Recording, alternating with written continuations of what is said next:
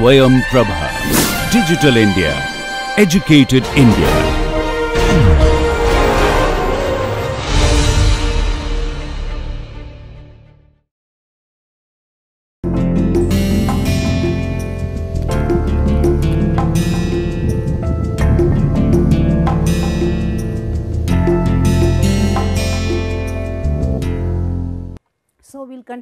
Discussion with first passage and first return probabilities, uh, how to compute them and so on. So, I just recall uh, quickly that your uh, Fij 0 will be 0 because there cannot be any transition in 0 time. Then Fij 1 that means the first first time uh, j is reached from i in one step. So, that will simply be Pij right. So, the first step transition probabilities are your f first uh, first time transition probabilities also and then for the uh, for Fijn we wrote down this uh, formula through which we can recursively uh, compute uh, the Fij. So, you see Fijn will be Pijn minus sigma k varying from 1 to n Fijk into p j j n minus k and I had explained last time also that you see uh, we are uh, because Pijn uh, simply gives you the uh, probability of transitioning from i to j in n steps and it does not and you in, in between you could uh, number of times have visited state j. So, all that is included here because we were computing all possible paths from i to j. So, that may include going to j and then staying over j and so on and then going from j to somewhere and then coming back to j and all that. So, now we will want to subtract those probabilities from Pijn to compute our Fijn and so, uh, this says that uh, here this is the first time uh, in k steps you transition from i to j uh, for the first time and then from uh, j to j in n minus k. So, this again will include you know going from j and coming back to j, but in between also you can visit j any number of times. So, this pjj and minus k and here this is uh, you have already reached j in k steps and then all this is happening because you are computing the transition probabilities up to n. So, therefore, we have to subtract.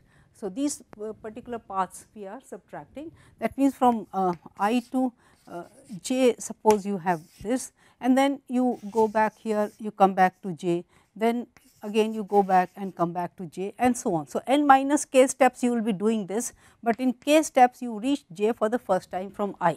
So, we have to uh, subtract the possibility of traversing all such paths from this one to be able to compute the first passage probabilities. Okay.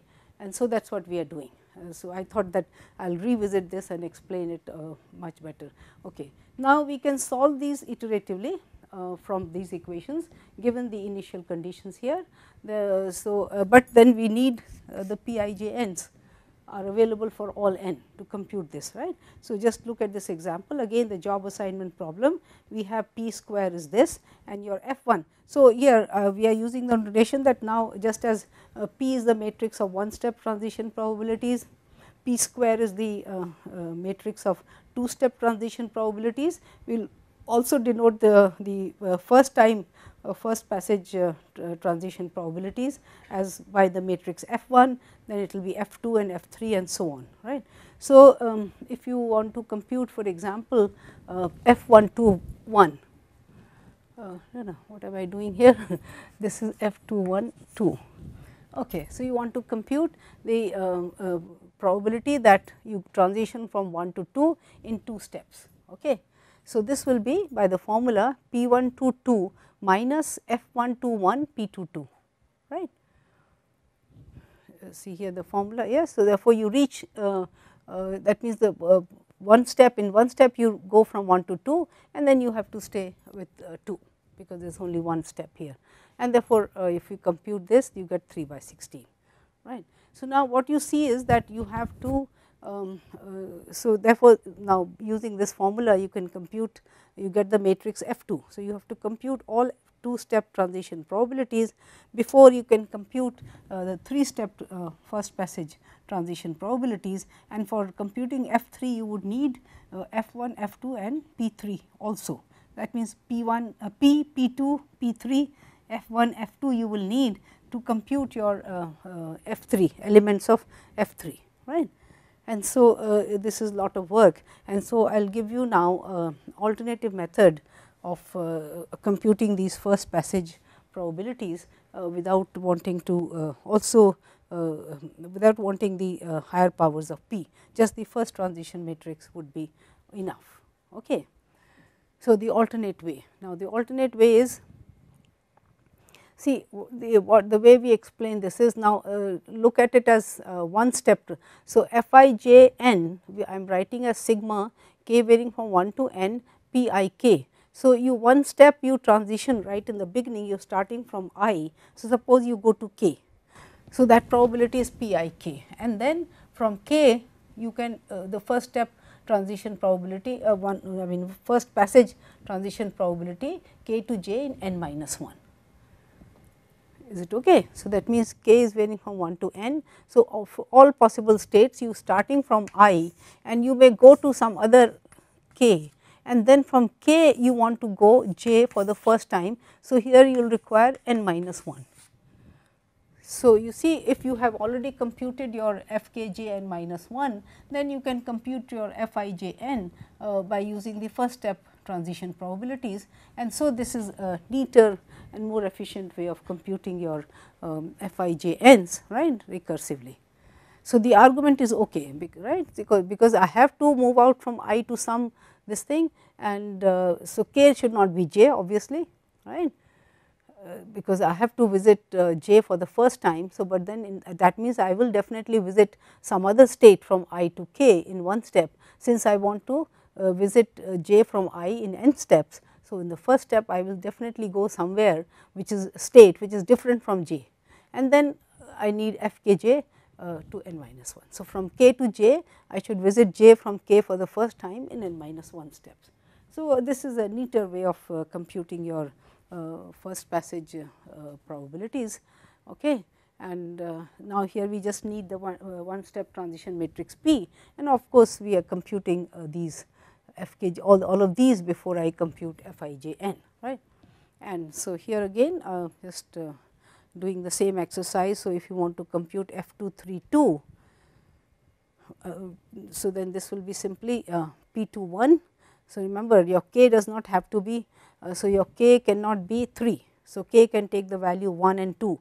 So, therefore, F21 F, uh, P21 F13 plus P22 F23 this is all right and so uh, by taking the values because this is all this is only uh, uh, p13 so this is p21 p13 plus p22 p23 and you can look up looking up the values uh, in the matrix p you get this right? Now look at f312 f312 so here your uh, j is 1 so your k can be 2 and 3 so this will be p32 into f21 right?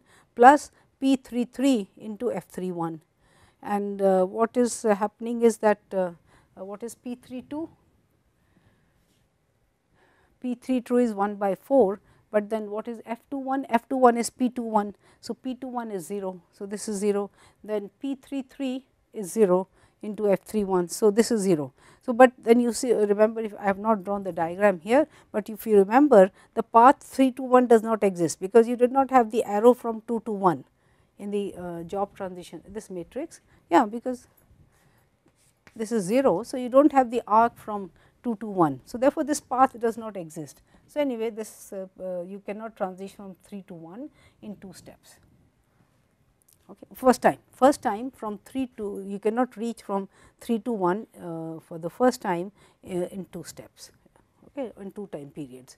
So, uh, this is so this is definitely uh, uh, better way of computing your Fijn right. So, now once we know this then let us talk about the mean first passage times. So, uh, remember Nij we have denoted as the number of uh, transitions that you require for going from uh, i to j for the first time right. So, then the mean first passage time will be expectation of the random variable Nij right, which you will write as n varying from 1 to infinity n f i j n. And when you put i equal to j, then it will be m i i which will be the mean recurrence time and this we have said is equal to 1 by pi, okay, 1 by pi i. So, the steady state probability of being in, uh, so this is a proportion of time being in state i over the long run. So, 1 by pi i would be the mean recurrence time. So, that will be the time required for uh, reaching. So, on the average uh, require uh, this is the time that you will require for reaching from i to i right for the first time. Right. Now, to compute uh, mij's you would need the first passage time distribution. So, you need to compute no you can't apply this formula right because you have to then have all Fijn. So, again we will look at uh, a nicer way of uh, computing your mean uh, recurrence time and mean first passage times. So, uh, as we said that to compute Mij uh, by the formula where you need all Fij n up to infinity is not practical. So, let us now um, uh, come come out with another method for computing these um, mean first passage times. So, you see we will condition on the state at step 1. So, see what happens is if you are computing the mean first passage time then either the transition from i to j takes in one step. So, then this is 1 into p i j. Remember you are computing the expected value of uh, m, uh, of the f i j n. So, uh, Mij, so if it is one step then probability of uh, transitioning from i to j in one step that is Pij. So, 1 into Pij. So, either we will transition from um, i to j in one step and uh, therefore, 1 into Pij or we go from i to k in the first step right because uh, since it has to be uh, you know either we transition from i to j in one step or from i I go to some other state and then from k I will transition back to j. And so, then it will be uh, once I do this then the me, uh, the passage time becomes 1 plus m k j because m k j is the mean time of going from k to j and so 1 plus because one transition has already taken place. So, the mean time of transitioning from k to j for the first time will be 1 plus m k j and into the probability of transitioning from i to k where k is not equal to j. So, this should be clear right. Okay. Now, we just rewrite this expression because you see here you are summing with respect to k and uh, k is not equal to j. So, p i j is missing which is uh, available from here. So, when you add up uh, uh p i j plus sigma p i k k not equal to j. So, this whole thing is the uh, summing up the components of uh, the ith row of the first transition matrix which must be equal to 1 right because from i you have to transition to one of the states and therefore, this is 1 plus sigma m k j into p i k k not equal to j and we can rewrite this as summation p i k into m k j where k is not equal to j. So, this is now again as I said uh, the, the, way com we computed uh, your uh, formula for Fijn, uh, you know this is also a simple way of computing your Mij without really wanting to without really requiring to have the whole distribution for the first passage probabilities Fijn right. Okay. So, um, these are n equations in, in unknowns that means n unknowns means in the sense that you are asking for this m to j and so on m and j. Okay. So, you are asking for um, first transition passage to j from any one of the states 1 to n. So, these are n variables and uh, um, because your i is varying from 1 to n and then uh, in n unknowns n equations in n unknowns right. Now, um, and similarly we can also compute i i i can also be obtained this way. So, the first mean first recurrence uh, um, uh, mean first recurrence times can be also obtained by uh, solving the corresponding set of equations here and uh, let us so just uh, work out the formula. Uh, this will be so if you want to compute m 2 3 then m 2 3 will be 1 plus and remember your k is not equal to 3. So, k can take the value 1 and 2. So, k, so it will be p 2 1 into m 1 3 plus p 2 2 into m 2 3. So, now uh, in order to compute m 2 3 I need m 1 3 right. So, I will write down the formula for m 1 3. So, m 1 3 will be so here again k is not equal to 3. So, this will be 1 plus p 1 1 m 1 3 plus p 2 3 uh, p 1 2 into m 2 3 right. So, then uh, two equations in two unknowns and uh, we can substituting the probabilities p 2 1 p 2 2 P 1 1 and P 1 2 I get these equations. And so it is not difficult because from here you immediately get you know like uh, half m 2 3 is 1. So, m 2 3 is 2 immediately you get it from here. And then once your m 2 3 is 2 this is half. So, this is 3 by 2 and when you bring this to this side okay let us see uh, m 2 3 is 2. So, this is 1 by 2.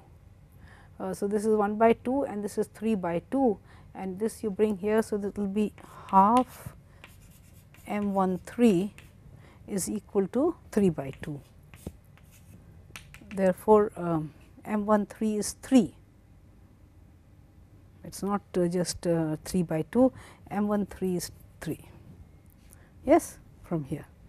Uh, you can again substitute and make sure. So, M 1 3 is 3 this is 3 by 2 and uh, M 2 3 is 2. So, this is um, uh, what is the mistake? Haan, hai, so, this is equal to 1 plus uh, M 1 3 we are saying is coming out. So, this is 3 by 2 plus haan, hai, and this is half. So, this is 2 plus 1 3. So, m 1 3. So, therefore, that was the right uh, solution. So, this is m 1 3 is 3. Okay. Yeah, so working out uh, always helps you because you can find out your. Now, similarly, uh, let us just look at the uh, way we compute m 1 1. So, the uh, uh, first mean recurrence time for going from state 1 to 1. Okay.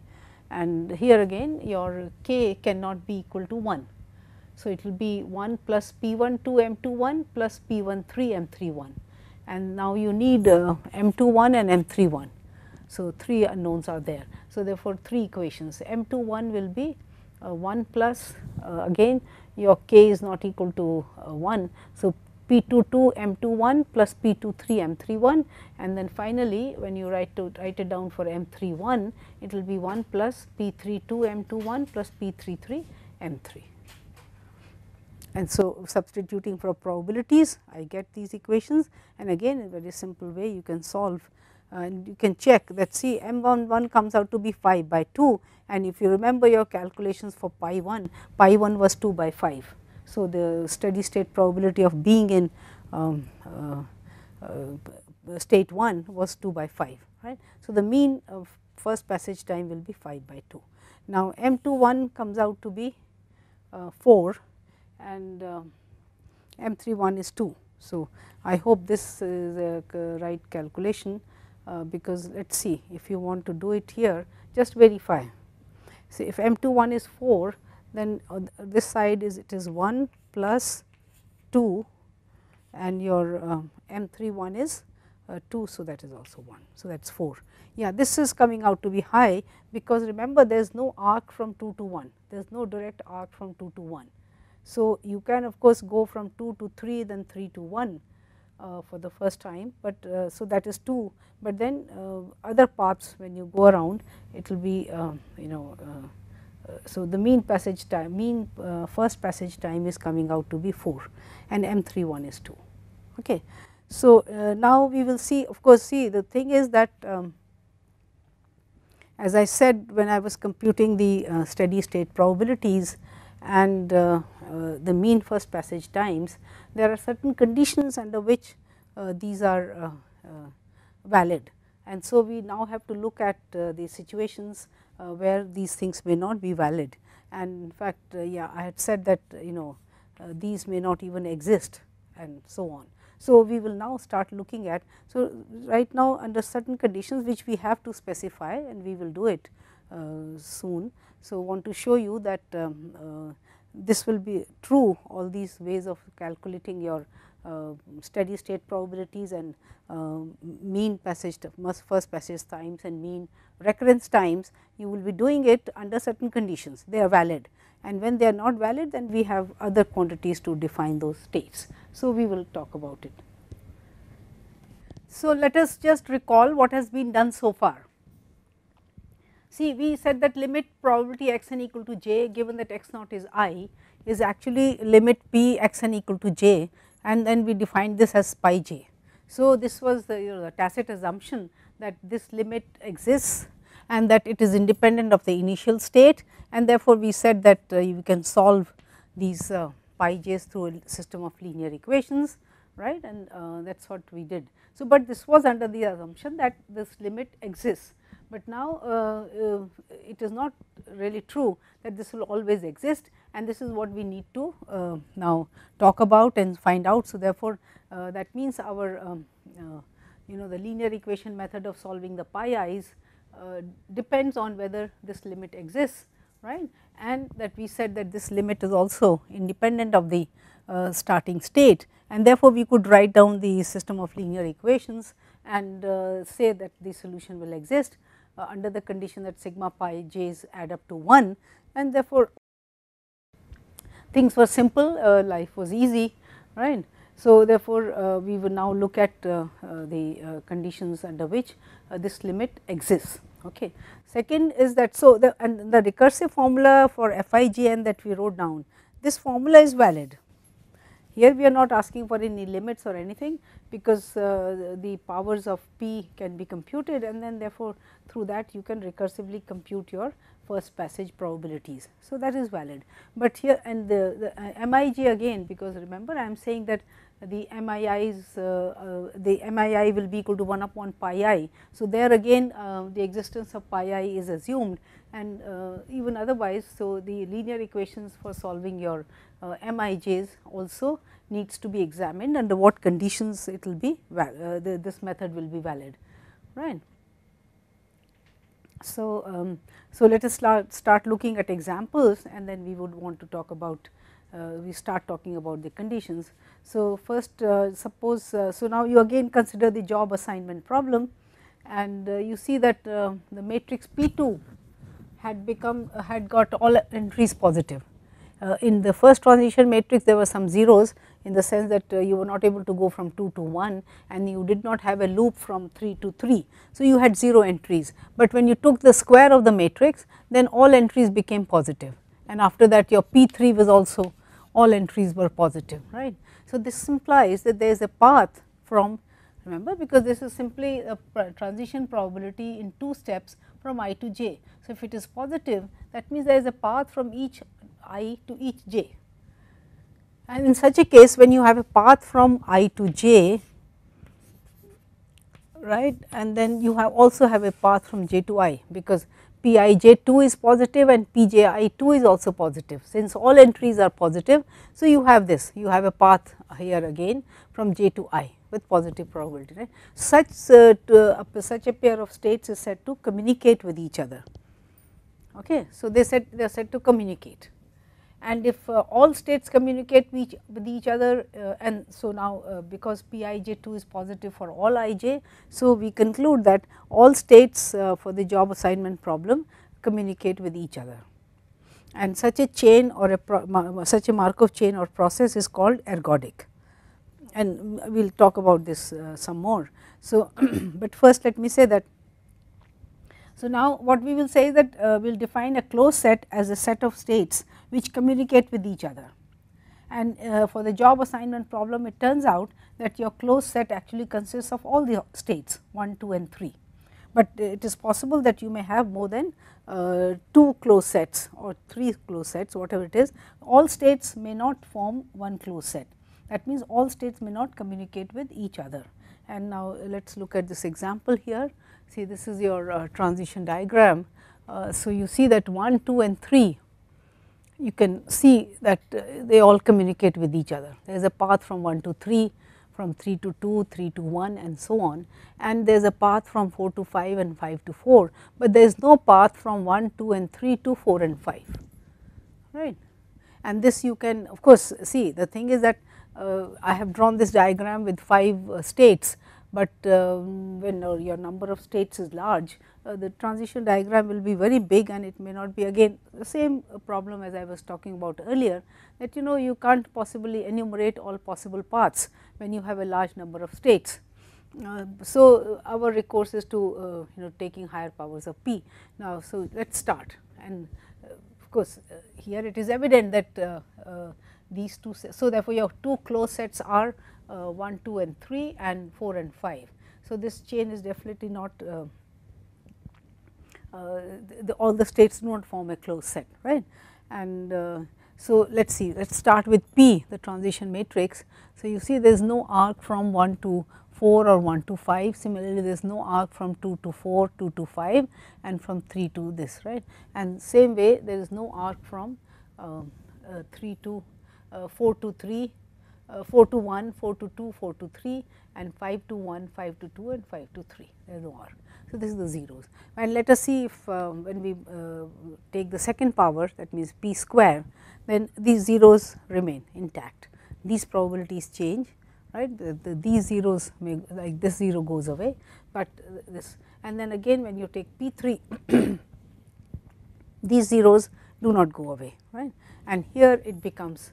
So, therefore, now you can say that for among the states 1, 2 and 3 the closed set 1, 2, 3 now you have path from each node to the other two nodes because these are all positive right. So, they all communicate. So, that means you need at least 3 transition steps to um, see that there is a path from uh, each of the nodes 1, 2, 3 to the other two.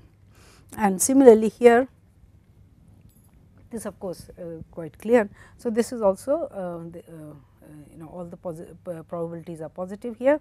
And uh, therefore, so and you see that this structure will continue no matter what higher powers you take of p right? You will continue to have zeros here and zeros here. So, therefore, um, uh, this is the situation where uh, the um, uh, all the states do not form a single closed set. And in fact, if you have more than one closed set we call such a chain or a process reducible right and if um, all states form a closed set one single closed set then it will be irreducible. So, what we have been talking about so far has been irreducible chain and irreducible means that all states will communicate with each other and therefore, it will also be ergodic. So, um, but again uh, even uh, this classification is not enough, we need to uh, do it further and so continue the discussion. So, Engel, if a single state forms a class that means there is only one state in a class it is called absorbing because obviously uh, the state is not communicating with any other state, it is just communicating with itself. So, then it is called absorbing. That is, so the once the system enters an, an absorbing state, it will not come out of it. Yeah. So, we will just look at the examples for all these, uh, uh, all these um, uh, the kinds of states that we are talking about. Now, um, uh, from the um, from the 5 by 5 matrix of the two of the two closed sets uh, we just uh, looked at this example in which you had two closed sets as uh, formed by the states 1 2 3 and the states 4 and 5 right? Remember there was no communication between uh, the states uh, 4 and 5 and 1 and 1 2 and 3 and vice versa. So these were two closed sets right? So um, now the if you look at the uh, sub matrix 3 by 3 sub matrix see because otherwise it's all zeros. This is uh, 3 uh, yeah it was 0 and 0 right because there was no communication from 4 to 5. So, in the sub matrix the entry 1 3 was by mistake written as 25 by 36 it should be 19 by 36 because all the rows uh, the, uh, the elements of any row must add up for a transition matrix must, must add up to 1 and so with 19 by 36 uh, the uh, numbers 1 by 6 plus 11 by 36 plus 19 by 36 add up to 1. So, make that correction and in P 3 also the same correction has to be made because this mistake got carried over from P 3 where it was by mistake written as uh, 25 by 36 and not, and not 19 by 36. So, uh, you see that uh, the uh, sub matrix itself. So, now uh, the, the case that we were talking about that uh, your uh, uh, matrix P n in the limit will converge to um, where the rows are all identical uh, sorry whatever the number states k 1. So, this was pi 1 to pi k and so on. So, all rows were identical remember we this is the case we had uh, talked about, but now you see it has no meaning here right because the rows these zeros will, will remain forever. So, we can't say that the rows will become identical well in the sense that okay these 3 rows will become identical maybe you can say, but then uh, below here you have zeros right? Because again uh, 1 2 3 uh, 4 and 5 are not communicating with 1 and 2 and 3 so you will have zeros here and then you will have some uh, positive entries here. So therefore you can't say that the rows will become identical right? These three rows will become identical exactly that is what i want to show you that if you this is p3 so p3 this is 1 by 6 5 by 24 and 1 by 8 so supposedly this number will go up a little and uh, this number will also go up because you need 6 by 24 is uh, 1 by 4. No, so, you need 1 by 4. Okay. So, uh, supposedly uh, you can see that the numbers are close. Similarly, 11 by 36, 7 by 24 and uh, 1 by 3. So, 1 by 3 is 8 by 24. So, therefore, again the numbers are getting close and similarly here. So, um, you see that means um, these three closed states they themselves will satisfy the condition that the uh, steady state probabilities uh, you, you, know you can compute the steady state probabilities and uh, here it will not matter uh, in which day the system started. Okay. But uh, uh, to say that all the rows of the 5 by 5 transition matrix will converge to um, the same values would not be valid. Okay. Now, again uh, this uh, big example I have taken from Ravindran, Phillips and Solberg. And so this is a, a 8 by 8 transition matrix. And uh, the uh, diagram I have drawn uh, on the other board and uh, see I have written down this matrix though I am not making use of it right now, but uh, it will be a good exercise for you people also to sit down and try to if you can write a small I am sure uh, from MATLAB and so on if you uh, feed this matrix you can get uh, different powers of the matrix. So, it is not too much of a, a, problem getting higher powers and then whatever I am saying you can also um, conclude the same things by looking at higher powers of p. But in any case uh, if we draw the transition diagram it will look something like this right and I am not writing down the probabilities because they are here and anyway it will clutter up the uh, diagram. We just need to look at the connections and whatever I am concluding from that is enough. I do not need the probabilities really except that this uh, P 66 is 1 right.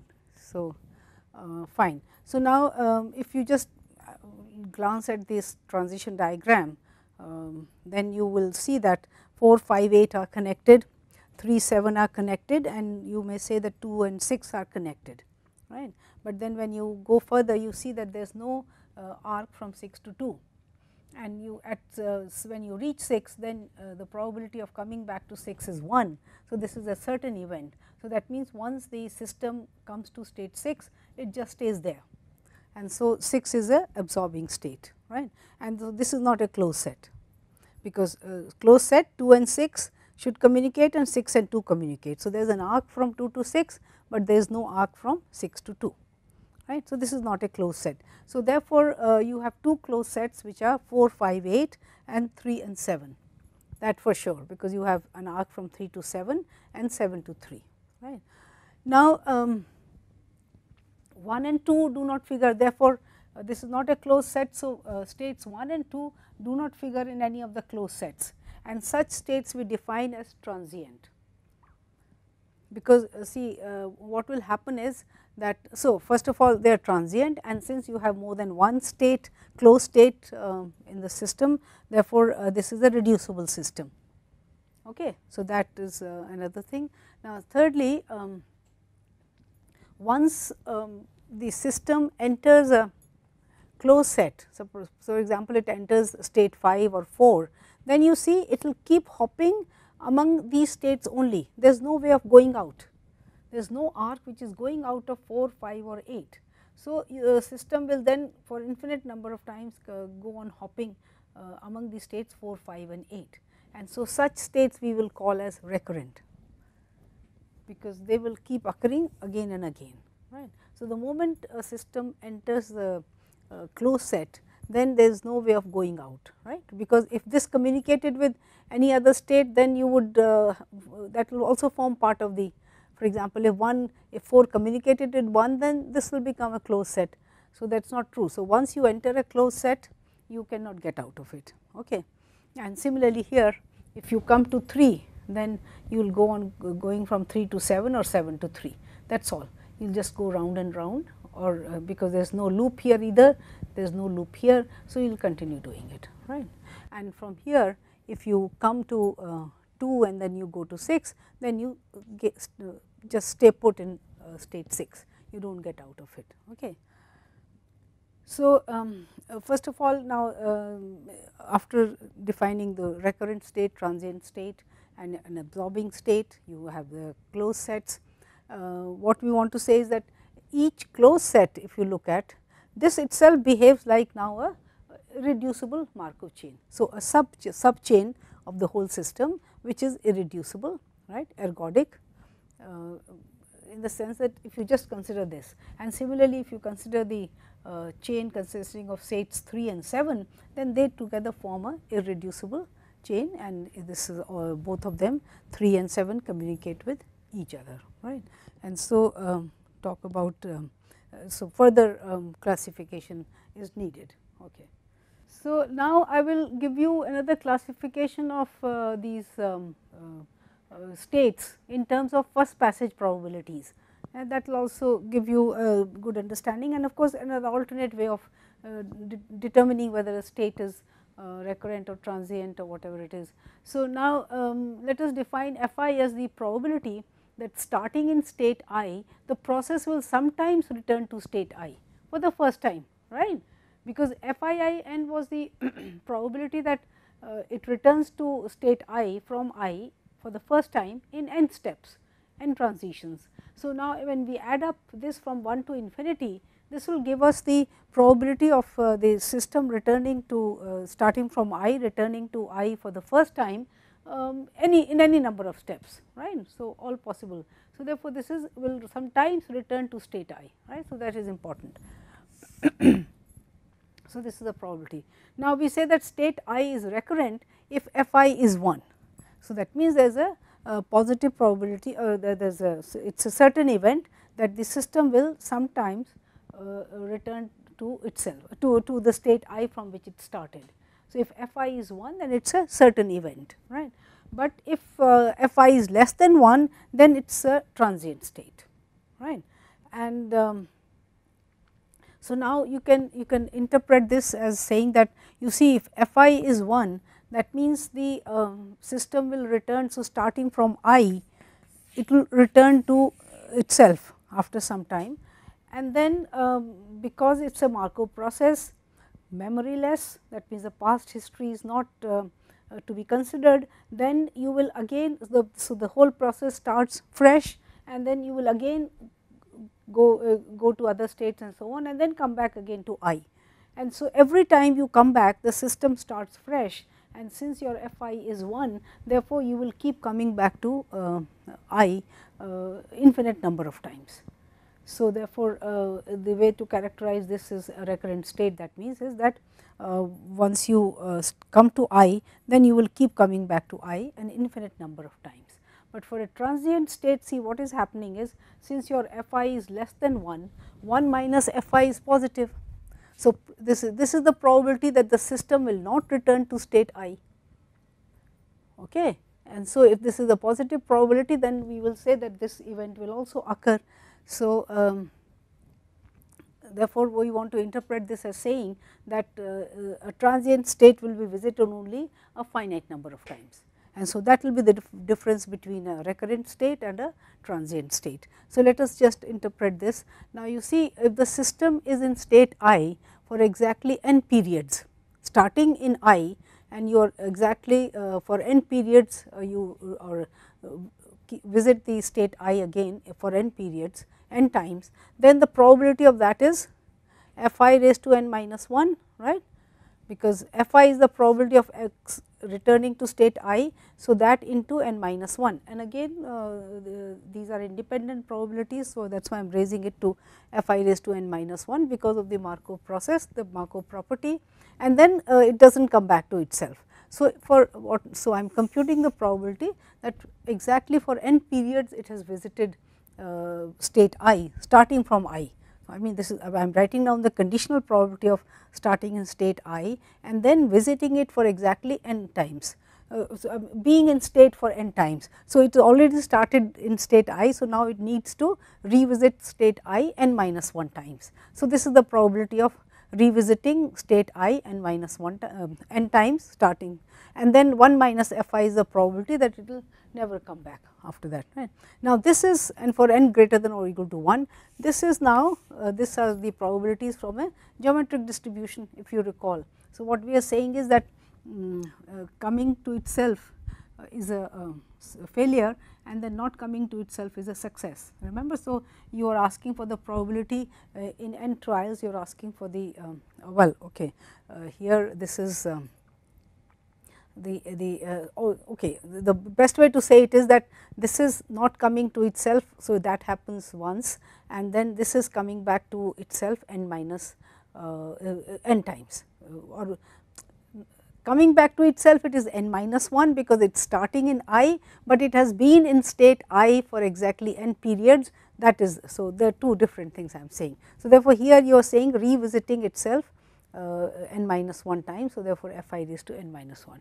Now, uh, when you want to compute the mean for this uh, distribution, then it will be um, that means n now varies from 1 to infinity and you compute the mean, then it will be n times 1 minus f i into f i raised to n minus 1 right and uh, here you can take 1 minus f i outside. So, sigma n f i n minus 1 and this is the geometric distribution f i is less than 1. So, this is convergent and this is the arithmetico geometric series you should all know how to uh, evaluate it we have done it in the beginning of this course and so uh, the sum is 1 upon 1 minus f i whole square and so divided multiplied by 1 minus f i. So, this is it.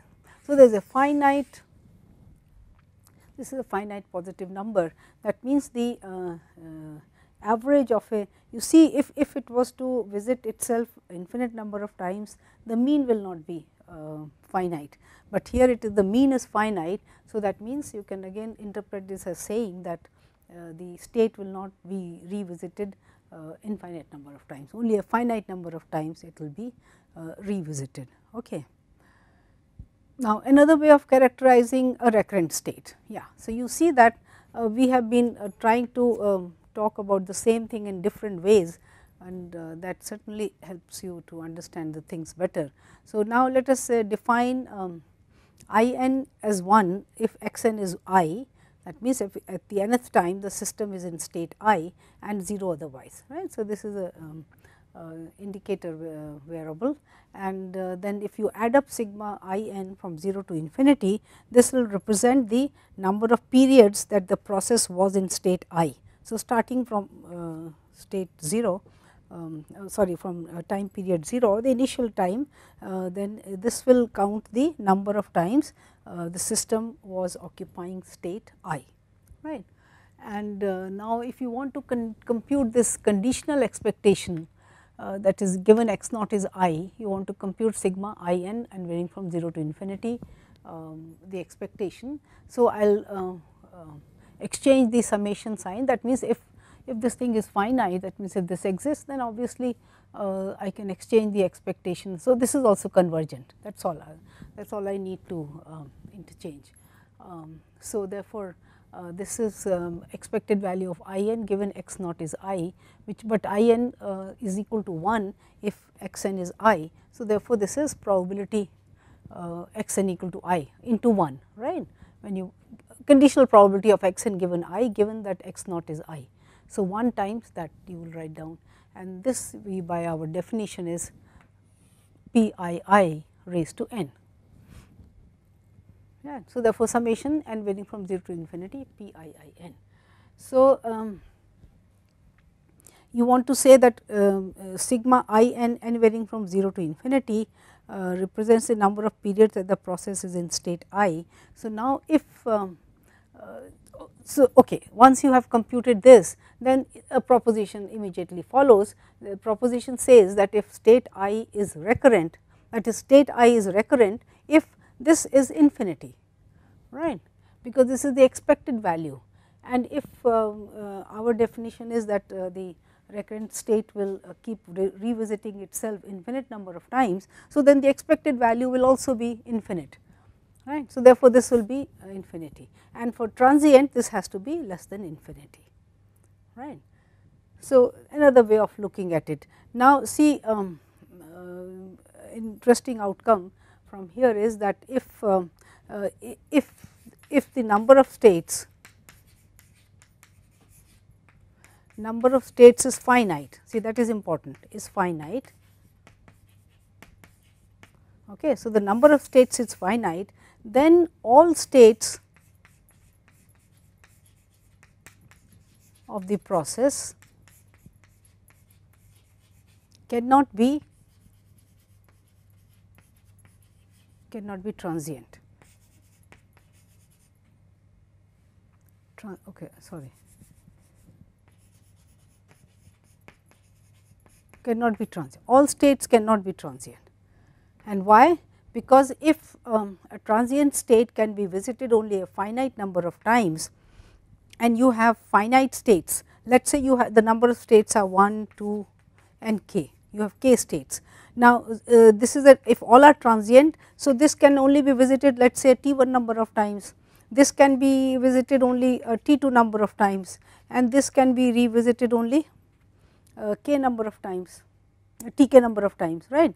And now you take max, max of t 1 plus uh, uh, sorry t 1, t 2 and t k, take the maximum of this define this as capital T. And then now uh, when you consider the time t plus 1 t plus 2 what happens because uh, all the transient states have already been visited you can't uh, revisit but the process has to go on the process has to be in some state at time t plus 1 t plus 2 right. So, this is a contradiction because uh, if you have only finite number of states and all are transient uh, they will all get visited uh, their finite number of times and after that beyond that time period the process is going on. So, where does it go? It has to transit to one of the states. So, therefore, um, in a finite process, uh, finite process we mean finite number of states, uh, all states cannot be transient. Right. So, therefore, immediately the question uh, is asked um, if, if the number of states is not finite, then is this possible that all states may be transient and yes. So, we will also look at an example and we have already uh, done uh, looked at such a process, but we did not really talk about uh, this aspect of the process at that time. So, yes if there are number of states are infinite then mm, uh, uh, the uh, all the states may be transient.